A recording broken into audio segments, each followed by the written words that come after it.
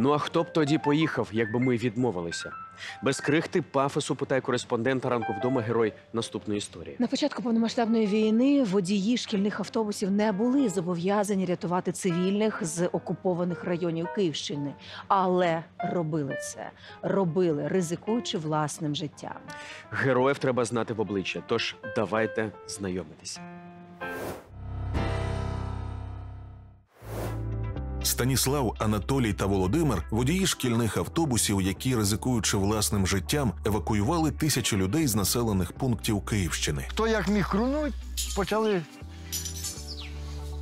їхати, а ззаді вже гради нас почали доганяти. Станіслав Маковкін найдосвідченіший в трійці. За кермом цілих 37 років. З них 16 водить автобус Володарського ліцею на Київщині. О 5 ранку, 24 лютого 2022-го, чоловік вже був на робочому місці. Уже пів шостої у Білій церкві бомбанули аеродром, а в нас дуже гарно було чуть.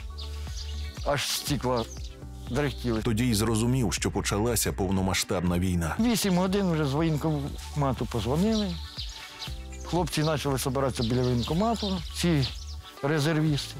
І ми їх вже Біла церква, де, де хто був приписаний ще з 14-го року, почали вже розвозити.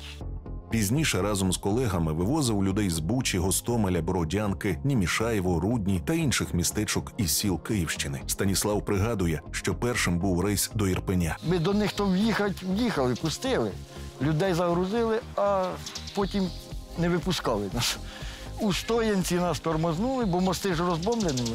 Заїжджали через Стоянку. Вдалося закінчити евакуацію лише на ранок наступного дня. Врятованих вивозили в Білогородку, і водії поверталися до населених пунктів, у яких вже кишіло російськими військовими, по інших людей. Після пережитого чоловіку довелось відвідувати психолога. Він не міг спати майже чотири місяці. Тікали з-під Макарова, насчитав я тільки 34. Це тільки танки. Всі зброю направляли, але ну не зачепили, не знаю, може. Бог нас хранив чи що. За кермом другого евакуаційного автобуса був Анатолій Пільганчук. А хто б тоді поїхав, щоб ми відмовились? Постоянно страшно, але не до такої степені, щоб уже геть. Напряженні просто постійно, да і все.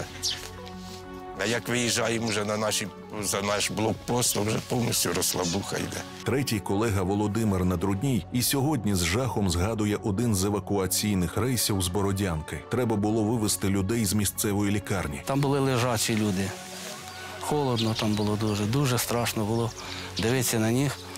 От, і хлопці пішли, МЧСники пішли, ну, знавати, що там до чого, як їх грузить. Я заїхав задом, став, розвернувся. Коли їде БТР, цей Орковський, розвертає цю свою пушку і на автобус направив. Щось таке десь видно, подивився прицел, чи що там. Автобус ще був пустий нікого.